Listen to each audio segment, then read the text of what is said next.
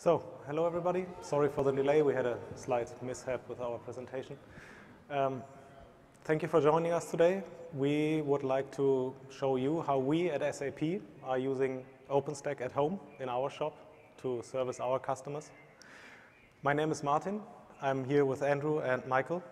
We are all engineers working on our um, OpenStack cloud to give you a little background, SAP is a software company. So um, we are, like all other software companies, currently in transition. We are moving from shipping our product on a CD to our customer um, to a deployment model where we run the application and the customer is just a, a user um, using our applications in our cloud. And this is where our part, the converged cloud, actually um, comes into play. So we are what we would call an internal cloud.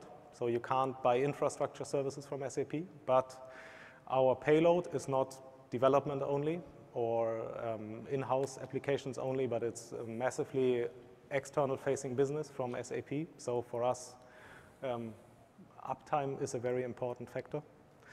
Um, we are currently um, planning to be in 15 regions worldwide. Nine of those are already up and running and we are shifting gear around the world very quickly um, to manage um, our data center buildups. For us, performance is very important. So uh, one of the key factors is that we want, for performance reasons, as many as OpenStack services as possible in one network so that we don't have to go over multiple hops and lose bandwidth in between.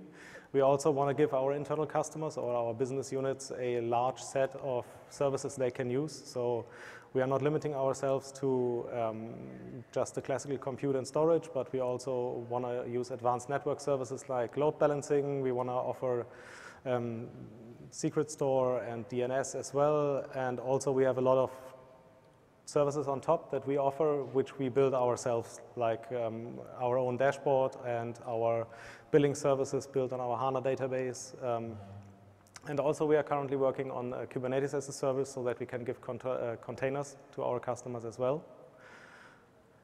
A little bit to our scale. So in absolute numbers, we are ranging roughly under 100,000 cores. We are currently around 1.1 um, petabytes of memory. And we have around 40,000 running instances and a relatively high turnaround. So we are counting around 4,000 instance operations a day, meaning create an instance, do something on it, delete it, redo it again. We have a lot of customers using automated tests, so our turnaround in general is very high. As you can see from the numbers, we are expecting basically a full cycle of all running instances every 10 days. We also have a relatively big net growth, so a couple hundred instances a day remain after all those operations, actually long running. We have two main things which might differentiate us a little bit from what everybody else is doing with OpenStack, and I will shortly try to give you an introduction, what it is and why we are doing it. So first of all, our 10,000 foot view would be we have a control infrastructure underneath where we run our CoreOS and Kubernetes, which is fairly common nowadays. We've been doing it for quite a while now. On top of that, we run our control plane infrastructure, so the OpenStack itself, our analytics services, our monitoring, and everything else. But our customer payload, we see as a completely different entity. So we don't mix our control infrastructure and the infrastructure where customer payload actually is running on. So we are investing a lot of work into splitting those up properly. Um, the one thing we do need a scale, and we had bad experience and uh, with trying to um, run um, our network in a way that we use overlay from end to end, from device to device. So we decided to approach it differently because we need to integrate a lot of services into those networks for performance reasons. So we use something which is called um, hierarchical port binding in Neutron. And those are the particulars, but in the high level um, view would be we use overlay only within the network. And as soon as the packet leaves any switch, there is no more trace of an overlay network. So this is a functionality which Neutron gives us where we can run at different parts of our fabric different protocols. So VMs only see VLANs, storage boxes only see VLANs, network device only sees a VLAN, except for the core fabric, it sees VXLAN packets, and it gets encapsulated and de-encapsulated at the network edge level. So this um, gives us the opportunity with very um, little overhead on the attached devices to um, achieve a relatively large scale.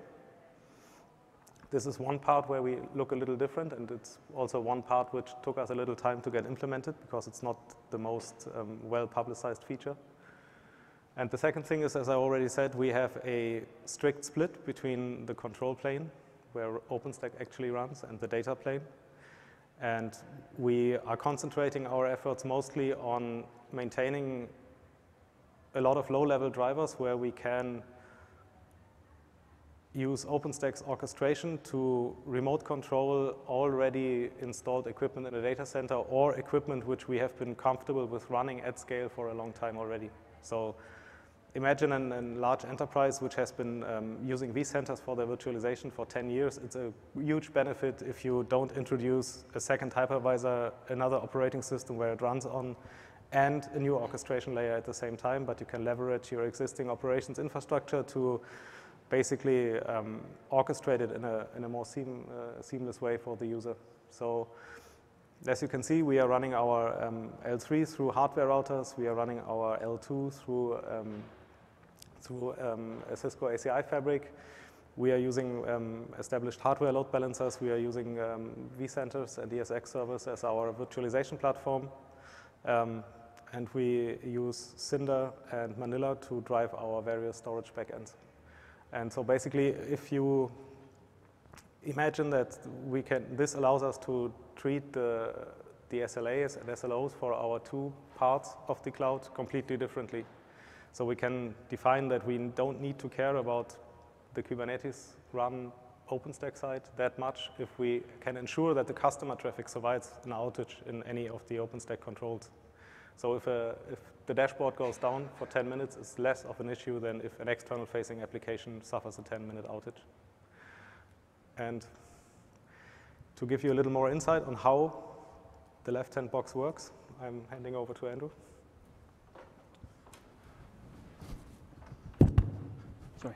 Hi. So um, yeah, I'm going to focus in the top right-hand corner, sorry, um, on how we actually deploy the, um, the OpenStack and our own components on, um, on Kubernetes and, and how we get it running. So there's a slide that, if anyone's been to any presentation on OpenStack, this is probably already well known, uh, but we're using Helm to deploy, and uh, Helm is a, a package manager effectively for Kubernetes, and the package in this case is called a chart. And uh, it's providing tooling for install, update, delete, and it allows us to compose a OpenStack deployment based on a series of dependencies.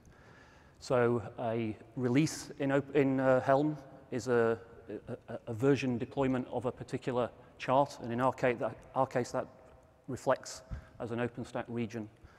And we can go uh, with Kubernetes and our sort of split control data plane from a empty Kubernetes infrastructure to uh, a running productive environment in about five minutes. And we can do pretty much zero downtime, sub minute, possibly sub 30 second uh, updates. So what we've uh, created is a, a, set of charts that allow us to um, deliver a group of regions um, which are pretty much identical um, in the top right-hand corner again here, is it? Um, and all we really want to differ in those regions are the things that make that region unique. So it would be things like endpoints, the definition of the hardware, passwords, the rest of it, the functionality is identical across the regions. So what we do is we create a region chart which just has a dependency to a meta chart, this OpenStack Helm. And the region values that we push into Helm that generates the configuration at this level are just passwords, endpoints, domain names, hardware configuration. Um, and we rely on the next level down, the, the OpenStack Helm uh, chart, to allow us to deliver um, a predefined set of unique, of uh, constant function uh, OpenStack uh, deployment. Below that, we then have the individual components. So we have Nova, Neutron, Cinder, Glance, whatever we're putting in there. And each one of those then has a set of default values that tell it how it's going to behave. So really, the, the behavior is fixed through the chart structure. And then below that, we have uh, infrastructure components like Postgres, RabbitMQ, etc. And a typical chart would look like this. This is Nova, so we have deployments in Kubernetes for all of the processes that we need to run. We have a, an ingress and service for all of the services we need to expose either internally within the cluster or externally through the API or as an API. And the things that are slightly different from uh, some of the other um, sort of uh, OpenStack deployments that we've seen are the, the way we're handling the, the DB migration and also the way we're using operators in Kubernetes to uh, scale our hardware. So in terms of the DB migration, we, um, we have a job that runs and um, that runs the migration. And in uh, Kubernetes, that will stay there until we delete it. If we need to upgrade the database, we delete the job, run a deploy again, and it will, um, it will deploy the, the DB.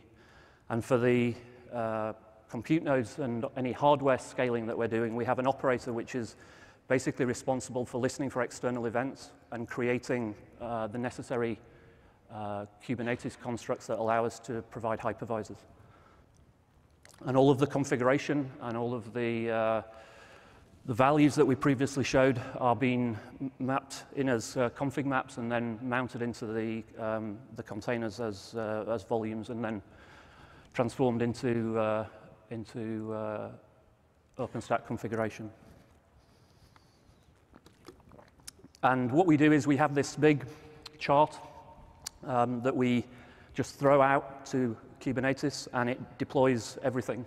Um, and what we found initially was that that led to uh, timing problems with um, things like databases not being available or RabbitMQ not being available. And luckily, um, we were quite early to the game, and I think we were also uh, joined by Stackanetes, and they solved this problem with this Kubernetes entry point um, binary, which basically provides very basic dependency management. So what we do is we throw everything out and we define within the specs the, um, the dependencies that we need to keep or ensure that the system is eventually running. So we start off with the databases and the uh, ingress and services being, being uh, running. And then we wait for the migration job to start. So that's got a dependency on the database, obviously. Once that's completed, the API starts up. It's dependent on the migration. And, um, and then once that's available, the, the headless services, the conductors, schedulers, etc., the compute nodes can start to, uh, can start to go in there. And, it's the, um, and then the operator takes care of, of, scaling up the hypervisors once we've, um, once we've done that. And how that, um, that works, we have a, a thing we're calling a vCenter operator. It doesn't follow the, the CoreOS pattern exactly um, in terms of the, um, the way it's, it's sort of defined to work in the, in the documentation, but it, it basically provides us with operator type uh, behavior. So we, we deploy that into the, into the cluster and it's listening um, or polling a DNS, um, our DNS service. And as our infrastructure guys build out a new vCenter, the last thing they would do would be to create the DNS entry for, their, for the API endpoint. Once that, once that happens, the operator takes over and finds that it's got something new to configure, and it takes some pre-configured uh, configuration for things like the username and master password so that it can generate the necessary configuration for the compute node. And then it will create from a template the necessary um, uh, compute and uh, uh compute pods and also the config map to, uh, to get that working.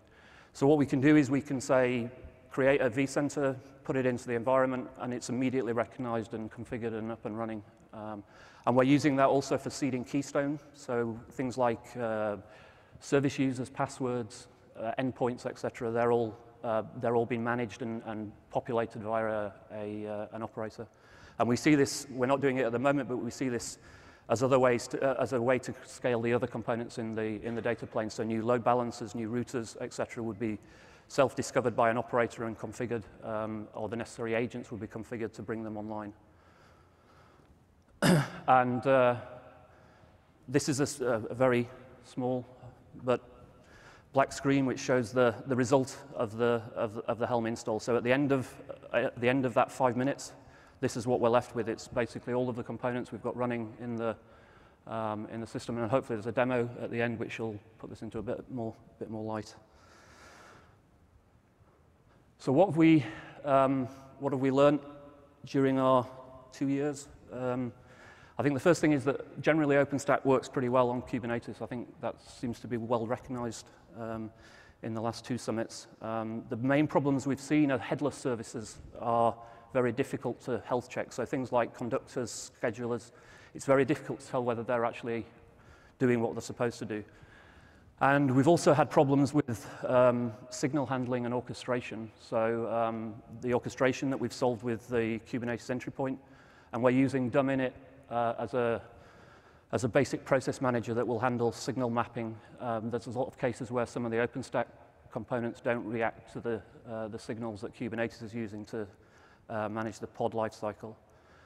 The other problem we've had is that some of the, some of the components don't, um, they don't behave very well if you just throw them in and, and they're not ready for the environment that they're, or the environment's not what they're expecting. So for example, a conductor process tries to start. If the database isn't there, it just waits. It doesn't retry, it just waits. It looks like it's running, but it's not. And there's no way for us to find out whether it's really working or not. So there's a few gotchas, I guess, in the, um, in the individual components that you have to work around. Um, and luckily, the, the orchestration that we're using is doing that. The other thing that we found is that the, the big monolithic Helm chart that we've created doesn't really scale very well. Um, not in terms of technical scale, but in terms of the way people are, um, are interacting with it. So we started with one or two people building it, and we've now got a team of maybe 10 people interacting with the Helm chart.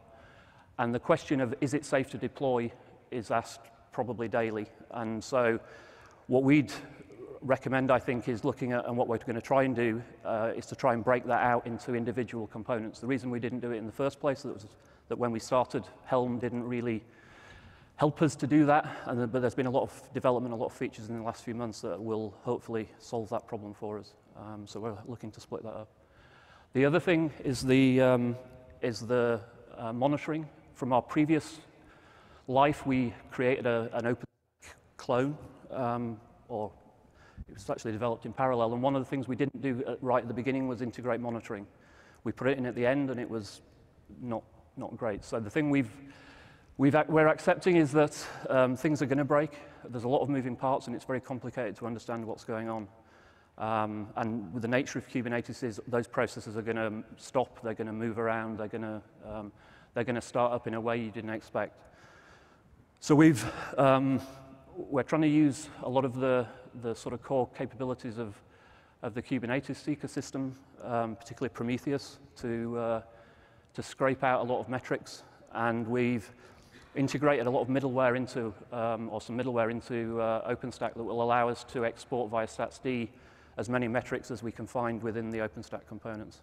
And we've also got some similar middleware that's doing the exception reporting for us. So we're not, we're not log parsing, we're actually capturing the exceptions as they occur, which has helped us significantly, I think, in terms of uh, problem solving.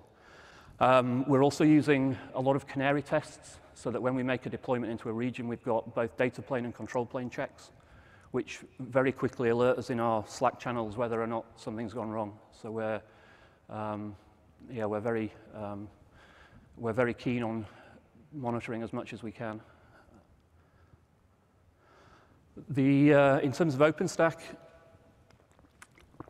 there's, um, when Martin said we're an internal cloud, we're trying to be an internal public cloud. So we're trying to make it as easy for our consumers to consume the cloud as possible. So we give them a self-service portal, a little bit like any public cloud dashboard. And we're controlling things through things like quotas, um, access control, and we're setting up administrative domains in, um, in Keystone. And we're, we're then restricting what people can do through policies. Now, all of those, at least from our perspective, are very niche features in, in OpenStack because every time we've tried to change them, it's taken a lot of effort to make them work. And um, those things for us are really, really important in terms of being able to restrict what people do or allow people to do things and to control how much people can use. Um, the other thing is, and it's related to that, is that we, we believe that OpenStack needs a proper UI for end users. Horizon, we couldn't really give it out to our end users. They wouldn't, they wouldn't use it, and it doesn't support most of the features we need to control it. So things like quotas, policies, domain support, they're all very sketchy, I think, within, um, within Horizon. And there's no self-service for, for getting people on board and for allowing people to access requests and for letting administrators process those requests. So we've built a dashboard, um, which we call Elektra, which um, provides pretty much all the features that Horizon has, but then all of the things we need to allow our users to use the system. And uh, what we'll do now, hopefully, if, if we've got time, I think we have, we've got a, a very short demo which um, really talks about or shows the, the effect of the control plane, data plane split. Um, so hopefully this will work. Um, not sure how I make it play. yeah. So it's going to demo a very simple scenario of, uh, of taking down some elements of our control plane. So this is our dashboard here. And we've got a couple of VMs which are running a very um, simple web application, which we'll show shortly. And um, we've then got a load balancer, which is basically load balancing between those two servers. And um, this is our website, which is very close to Michael and my heart. Um, and as you can see, it's working, everything's running. And if we look at our dashboard here, everything's green and, and rosy. So what we'll do now is I'll set up a ping to the two, well, to one of the VMs and one of the, and to the load balancer endpoint. Sequences have been shortened, so you might notice some skips in the sequence numbers. And this is our, um, our control plane um, that we showed earlier. And what I'm going to do now is delete Neutron, so, or delete all the Neutron components um, from, from our control plane. And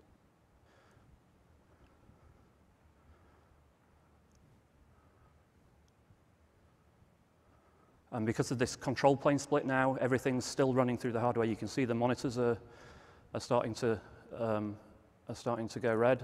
And if we look on the control plane now, we'll see hopefully all traces of neutron have been expunged.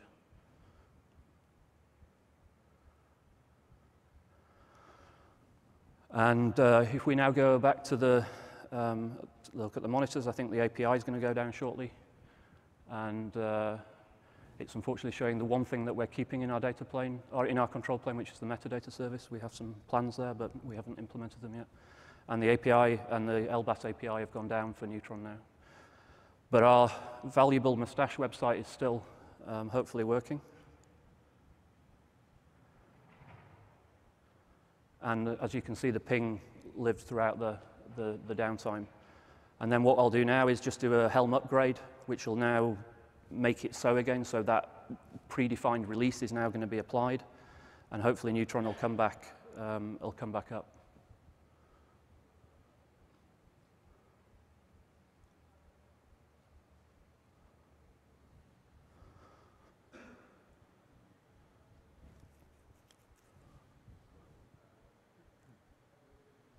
So that's the Helm deployment finished. Um, it gives a nice report of what's happened. And if we now look back on the, um, on the pods, we'll see that Neutron's hopefully back and running for us, so we're back into a, a healthy state. And if we now go back to the, um, to the alerting screen, we should hopefully see that those alerts are going to recover. Um,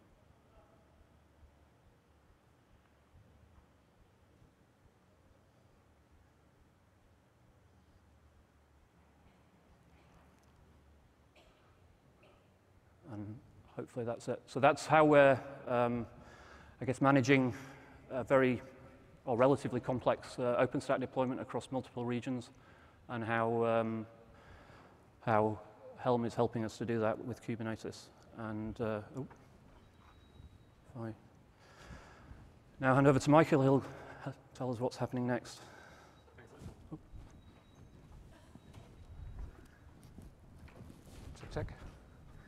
All right, so I, I want to talk about what's next for us with Converged Cloud. Andrew, as you heard, talked mostly about we, how we are leveraging Kubernetes to help us operate our OpenStack. And now that we have OpenStack running, we're actually thinking about how we could use OpenStack to make our Kubernetes better. But first, I want to take a small step back and tell you how we're actually installing those Kubernetes control planes. Um, when we start out, we get completely bare data centers and there's nothing in it. We don't have any infrastructure, nothing. And so we started to build out our own little machinery to actually install those clusters on bare metal machines. And I went to the talk yesterday about the Kubernetes club sandwich, and the speaker was actually asking, why would you want to install Kubernetes on top of OpenStack if you could just as well put it on bare metal? You should be in a happy land, right? But my answer to that question is it's not really a happy land. Uh, Kubernetes on bare metal is just as hard, if not harder. For starters, uh, we need to build that infrastructure. It might be easy if you install Kubernetes on your Raspberry Pi and you just type in the commands. But if you're looking at building up 15 regions and each region consists of 10 or 11 hosts, you're in a bit of a trouble. So we started to create that infrastructure and you get to the point where you're thinking, am I building Ironic? Or should I maybe spend my money on some product and buy this thing? So it's a bit sketchy there. And we also figured out that we're really missing the undercloud in Kubernetes. There's no load balancing, which is native to bare metal, and we have to figure out a workaround to actually expose our services. And there is something, but it's a bit of a stepchild. They are using these external IPs. We don't have any volume management natively. We also have to go back to our vendors and ask them to have um, some kind of intermediate component which brings us volume management into Kubernetes, or we have to do it manually, as we do at the moment. And also the whole networking part in Kubernetes on bare metal is an interesting puzzle, which is left for the interested admin to figure out. Or you have to go down to the marketplace and talk to the vendors what they have to sell you. So we actually implemented something called, we call the KubeParrot, it's a BGP speaker, which is Kubernetes aware. And so it talks to Kubernetes and it talks to the underlying infrastructure and it tells the whole system or the, the networking components how the Kubernetes networking is supposed to look like. But you have to do that your own, on your own. And finally, Kubernetes is not, or how do I say that? It's not really supporting the bare metal use case that well. Google themselves, they are running on GCE, and that's their main use case, what they are driving. And we often run into edge cases where we are thinking like, how is this even working? Is anyone else using this? And that's just the reality we are seeing with this whole bare metal thing. So how do we get out of that trouble? The first step we are taking is we are starting to manage our Kubernetes clusters to, with Kubernetes. Uh, so this picture actually looks like a no-brainer. Why are you, not, are you not doing that in the first place? And when we started, we experimented with uh, self-aware Kubernetes clusters, which could manage themselves, but all of that stuff is getting quite complicated. So we are now finally came to the conclusion that we are just managing Kubernetes with Kubernetes instead of building up our bare metal iPXE ironic clone further. That also allows us to use a unified tooling. So we're also going to use Helm to actually install Kubernetes itself and all the auxiliary systems that we have around it, like the Prometheus servers, which manage this whole stack, and some extra components that uh, help with operating the, the OpenStack cluster. But ultimately, we're still missing the undercloud. The interesting thing, though, is that now that we have that whole machinery and we actually have a running OpenStack, we came to the idea, what if we take all of this and we stick it on top of OpenStack? Then we're going to end up with something like this. Instead of bare metal, we have the same cluster on OpenStack, And we try to reuse as much as we can from our bare metal infrastructure. We can reduce all the, the hacks and the bare metal edge cases that don't really work. And we can recycle our own procedures and stuff and actually give this thing to our customers. So we are thinking about, or we are actually implementing um, Kubernetes as a service based on this concept. And we're reusing the same principles and mechanisms and tooling and software and everything which we have uh, for building up the Kubernetes clusters in the first place. And what's really cool about it is that what Andrew showed you with the control plane split is also now happening for our customers. So if they set up a load balancer in Kubernetes, it actually ends up configuring an F5 load balancer through LBaaS, and it gives you the same control plane split as we are leveraging for OpenStack itself. The, we also have Cinder volumes then. There is native support in, in the OpenStack cloud provider for Kubernetes. We get auto-provisioned volumes right from Cinder. We have uh, native neutron networking also in the cloud provider. What we intend to use is a flat network where Kubernetes just talks to uh, Neutron directly and sets up uh, static routes for the pods.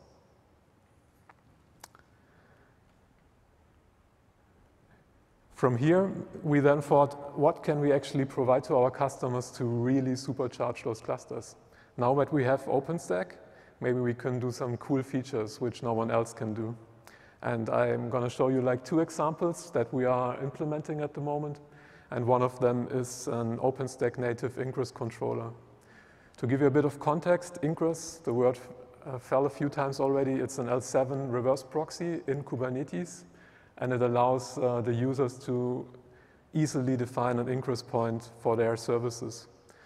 Like if you look at the bottom left, that's uh, ingress spec, and as you can see, there's a host name in there and a service name. And what's, happen, what's happening in the background is that Kubernetes will pick up whatever ingress controller you have deployed and make that spec a reality. There is um, the most common ingress implementation is based on Nginx. So what's actually happening is that when you deploy that, you get a bunch of Nginx servers which listen to the Kubernetes API and reconfigure themselves depending what the users put into. For uh, GCE, there's a native implementation where the ingress controller actually talks to the, to the, to the undercloud and sets up the load balancers. And since like a week or two ago, there's also an ingress implementation for AWS, uh, which our colleagues from CoreOS has provided. And our intention is to actually implement this Ingress controller for OpenStack, and so that we can all use it. And what would ultimate, ultimately happen is that the spec on the left will be translated to, will be configuring a native hardware F5 load balancer, which gives you like hardware TLS termination and enterprise grade load balancing. We're going to connect it to designate, so all the DNS names are already automatically being set up, so you don't even have to worry about how the Keystone Cloud SAP CNAME gets onto the floating IP of that load balancer. And one big problem that we're seeing is the certificate management for all these applications.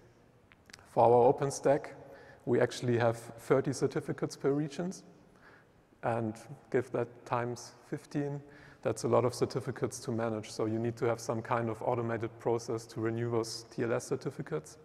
That's something we have already, and we intend to just stick it into this controller as well so that our users get this whole nice workflow right out of the box and don't have to worry about it at all anymore. So that's one example. The second example, how we can supercharge those clusters, is um, about the GPU demand that we're seeing just like everyone else, I suppose, uh, we have this machine learning hype in SAP, and our business units are starting to request um, GPU resources from our cloud.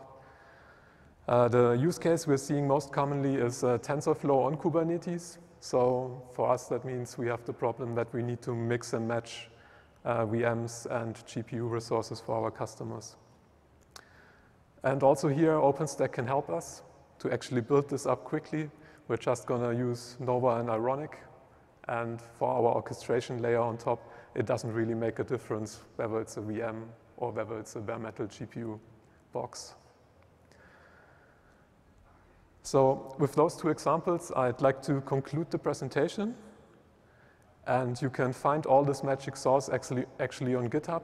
Most of it is open source, and you can see, find it in the organization SAP CC for Converged Cloud. With that, thank you for your attention.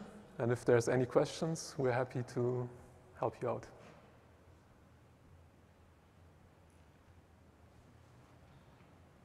Hey.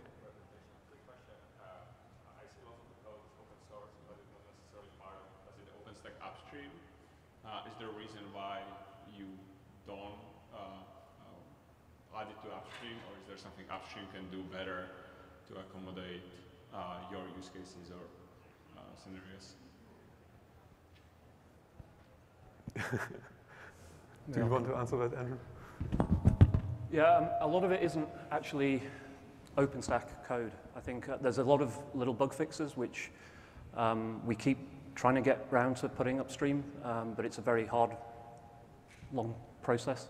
Um, a lot of the stuff is just completely standalone, or it's things like the Helm charts, which are, are, are you know, there, there is a OpenStack Helm um, in OpenStack now, but there wasn't when we started, and it's it's uh, it's very similar, but not quite the same. And I think um, the actual changes that we've made or need to make to OpenStack, they're largely in vendor code, um, and we're working with the vendors for, in our data plane to, to, to sort of upstream some of the requirements and the edge cases we're finding.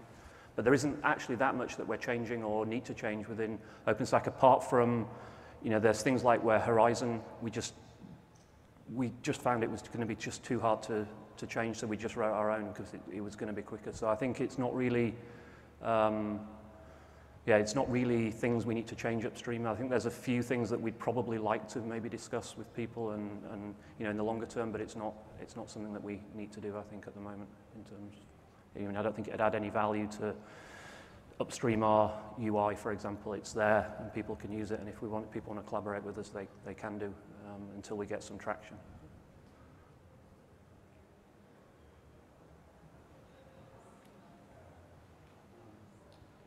probably cover this part. Were there any particular challenges with NFS as a service in your environment? Not really, um, or, or, not. I mean, to be honest, it's not one of our heavily used services. So we're we're seeing that as we scale, there are issues coming uh, with some of the, um, you know, some of the edge cases that we're finding. But I think um, I'm not aware of any particularly, um, you know, where it's, it's basically plain Manila with, um, with a, a NetApp backend, and so far um, it's, it's, it's working pretty well, I think. Is there anything we should be looking for? Or? Just wondering, that's all. Um, because that was not necessarily mentioned in Manila, and you know, you yeah, no, I mean, I, there's, there's a whole load of, we, unfortunately, we probably don't have time to go through everything. I mean, there's a whole load of things we, we would have liked to have, have gone through, but yeah, I mean, we haven't really had any, apart from the things I mentioned from an OpenStack, perspective, we haven't really had any sort of major things that are, that are concerning. And a lot of that, I think, is, is because of the way we're pushing it into, into the sort of more traditional hardware space. So we're really just remote controlling the hardware. And there are issues, and there's things we're working with you know, some of the vendors with to solve, but they're not, um, I don't think most of them are unsolvable problems. Two more questions, right? So um, did you settle on Ironic for bare metal provisioning, or I didn't, I didn't get your conclusion on that part? Um, yeah. For the bare, you yeah, did? Yeah. Okay. Um, other than that, so the recent OpenStack, like this one, there's a lot of developments around OVMs and um, you know, people, uh, hardware acceleration for those things. If we had to redo this, would you have reconsidered any aspect of your networking? For the networking part? Yeah, I mean, there's always things you would change, but fundamentally, no, actually. It's still from our last iteration where we had. Um, you need to come back. No. Where we basically had, we're in a situation that um, we had our own platform doing stuff like this in completely our own way, and we were modeling upstream APIs from Amazon to give to our customers.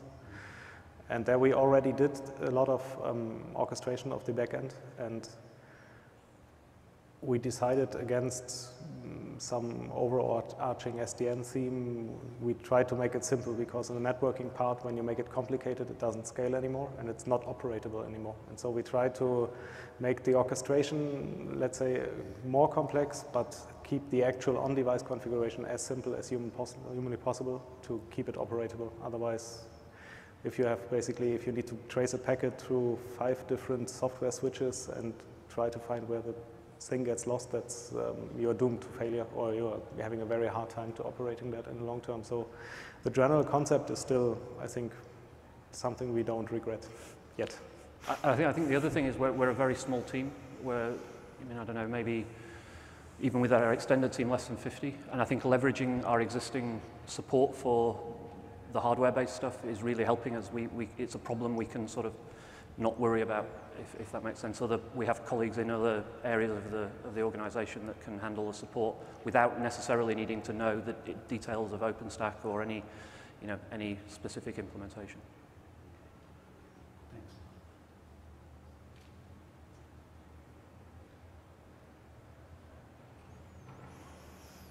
All right. Great. Thank you, folks. Thanks.